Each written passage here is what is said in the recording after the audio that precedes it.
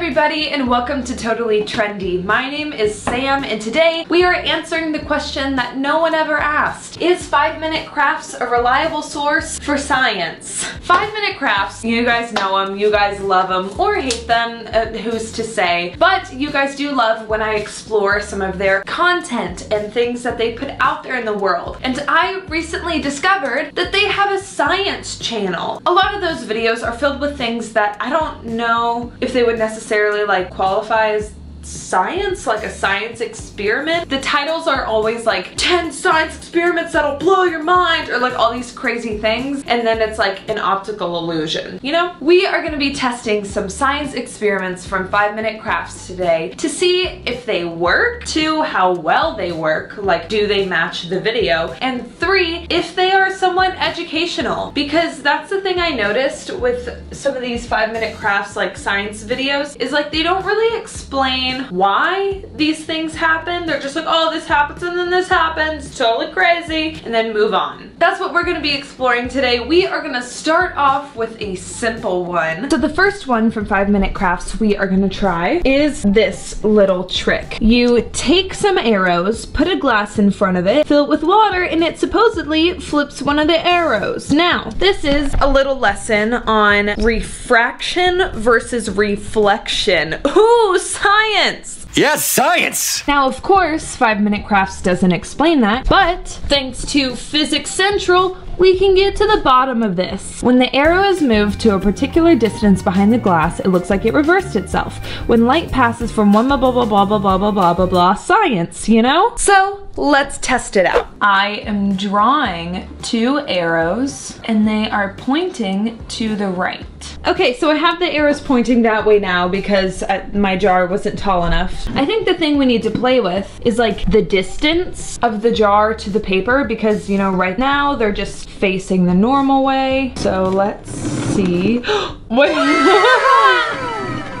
now they're both pointing that way. Okay, cool. Five minute crafts taught us some science. So this one might not be the most like mind-blowing thing, but it works. It works like it did in the video. The only thing that I do wish that they like included was some very brief explanation. Like they literally could have just popped up text that said like, this happens because of refraction. And like, that's what I would say. But yeah, this little optical illusion works. On to the next. This next one that we are gonna be doing is from a video that's called 33 Science Experiments that look like a pure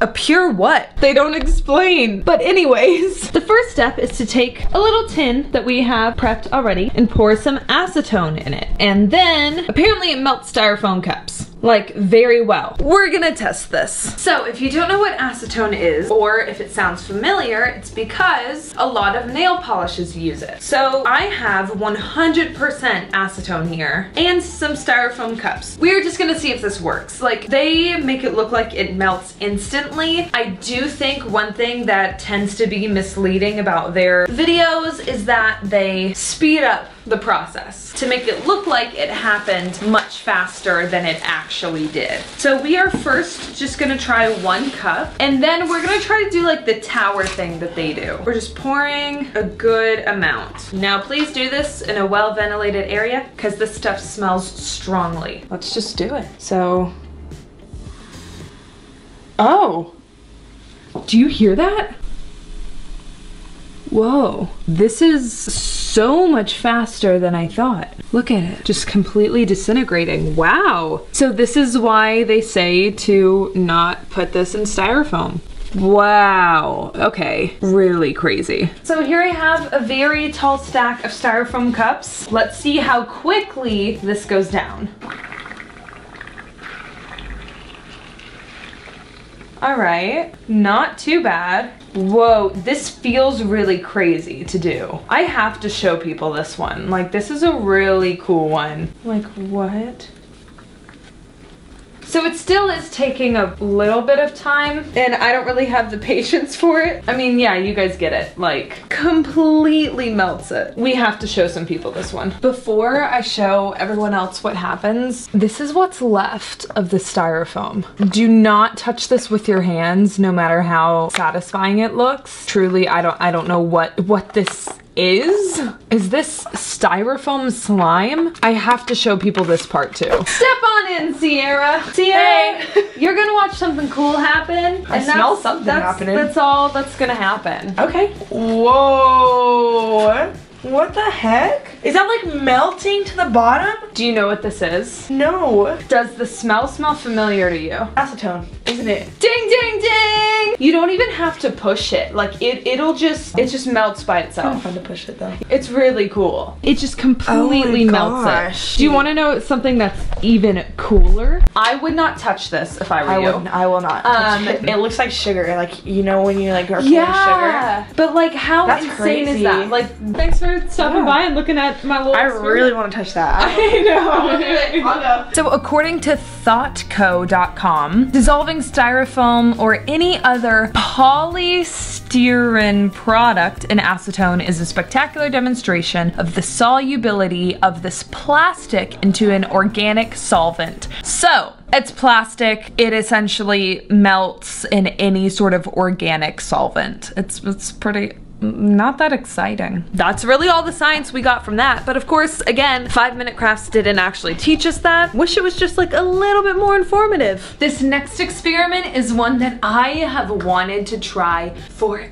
ever. But it just took some research to make sure that I get everything right because it involves fire and fire is dangerous. So we are gonna go into the orange base warehouse. So we have some nice ventilation for this one and some safety measures in place. We are gonna be making a sugar snake. Now, if you don't know what a sugar snake is, it's something I saw on a five minute crafts video. You essentially take sugar. Some people have their own different recipes for it, but I found one that I think is gonna be really simple and really gonna work. You take sugar, put it on sand, pour some rubbing alcohol on it, light it, and as the sugar burns, carbon is released, which pushes the burnt sugar up, and it essentially makes this long, continuous sugar snake. Let's make it. Okay, so we need to bust out the scale.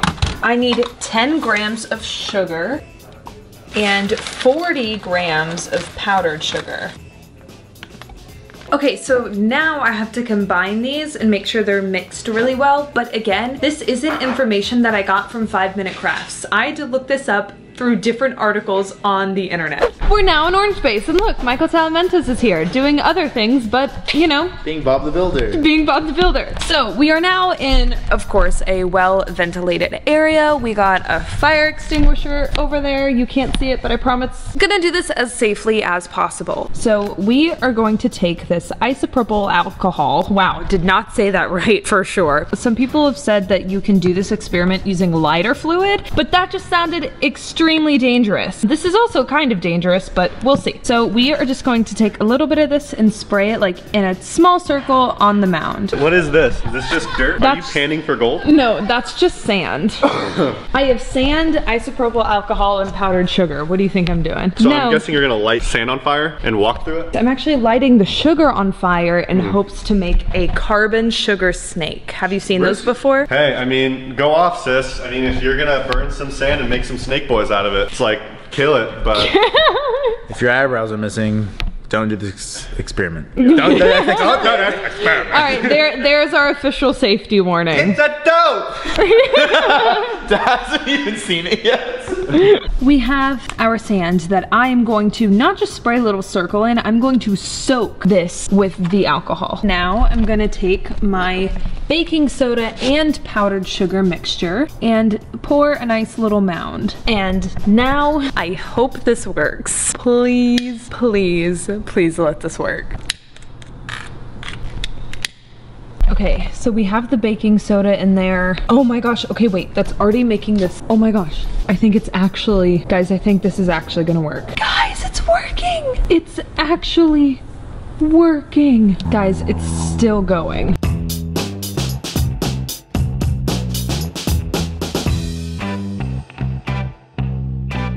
It's still very slowly going from the bottom. You can kind of see it bubble at the base. But this is so sick. So the consensus is five minute crafts. Their science experiments didn't all fail. I was actually really surprised, but they don't really offer enough information to like inform you on how to perform it. What's wanted to be here I did. I was just on my way to get some more water for the And he said he wanted science, so this I is you being science, a part I of didn't want science. outro. So outro this video. Thanks for watching, guys. If you want more science videos, just let us know down in the comments below. I want more science videos because I wasn't here for the science videos. Click right here for a video that Sam puts uh, puts right there for you, and click over here because YouTube thinks you're gonna like it. Thanks for watching. Totally trendy. Is that how you do it? Ew!